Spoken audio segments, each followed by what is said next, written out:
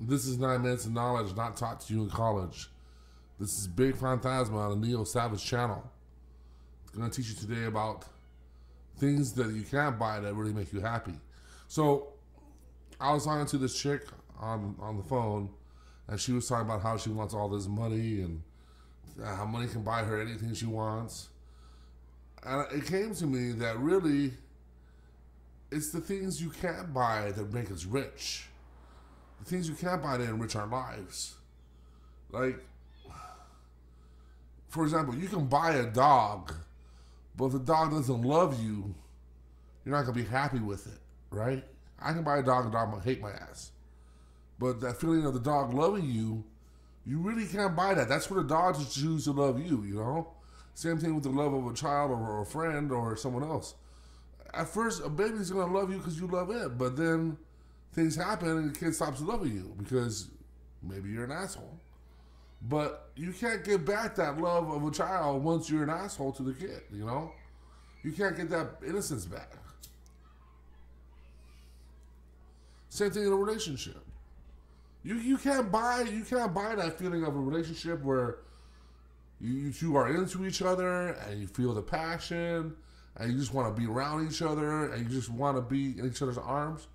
You can't buy that. You, you can rent that feeling from a prostitute maybe, but it won't be genuine. It won't be real. You can't really buy it.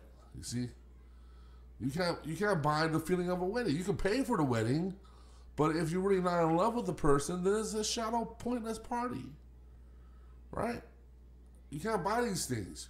You can't buy the time with your grandfather when he taught you how to fish, or your nana when she taught you how to make cook, cook something on the stove. You can't. You can't. There's no amount of money that will buy that, and you can't do it again because that time has passed. You know. You're older now. You already know. So I was thinking, because you know what? To be honest, we all have struggles, right? Even when you're making money, you have struggles. I was making a lot of money a while ago, and I still have money problems, believe it or not. Right? How could you have money problems? You're making that much money. Well, you make a lot, you spend a lot. Happens. And now I, I don't make that much, I don't spend that much. and that happens too. But I'm okay with it. Because I have a lot of things, I have a lot of people around me, I have a lot of things around me that enrich my life through experiences that I can't buy. I can't buy a friendship. Because you know what? As soon as the money's gone, that friend will leave if he's not a true friend. Right? You can't buy a friendship. You can't buy a relationship. I know there's a lot of women that'll be like, "Well, I'm I'm a special catch, you know. I'm you need to pay for my time, and that." Well, if you if you want to put a limit to it, yeah, pay whatever. It doesn't matter. You're limiting yourself. I will give you the keys to the whole kingdom, but you just want some money. Okay, easy. That's simpler for me. You know, these girls that run this game, like, oh, buy me this, buy me that, they don't realize that if you marry a motherfucker, you get half. This jump change, baby. Come on. Anyhow, but you still can't buy love. Trust me, you can't buy love. So what's money good for? Money's good for things that we think we want. Like, yeah, I really want an ATV. I want an ATV and a trailer, and then I'm gonna drive and go ride it, and then what? It breaks and needs an oil change, and I need air for my tires on my trailer, and see how these things go. You know what I mean? You get into something. Oh, let's play golf. And you get into golf. Oh, now I need a golf bag. I need golf clubs. I need golf spikes. I need golf clothes. I need money for the range. See, it's just like we get distracted by these things that just suck our money, right? When we're trying, we're chasing after that experience, that thing you can't buy, that perfect game, that that beautiful sunset, that picnic with someone you like, having a good time. You know, you can't buy that. You can't buy that. I'm telling you. Okay. So to everyone thinks that they're chasing money, the money's gonna give happiness. I already know you're lost. You're already lost. You're never gonna find it. Never. Look at Jeff Bezos. richest man in the world. He still cheats on his wife. He has everything. And he still cheats on his wife. Why? Because he wasn't happy.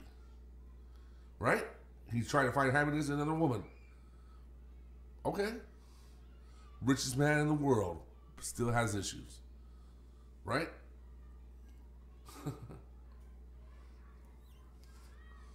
So I'm gonna spend the rest of my life going after things that you can't buy. Time, experiences, happiness, peace, love. That warm feeling you get when you're around people that love you. You can't buy that. You can't buy it. Can't buy love, can't buy time.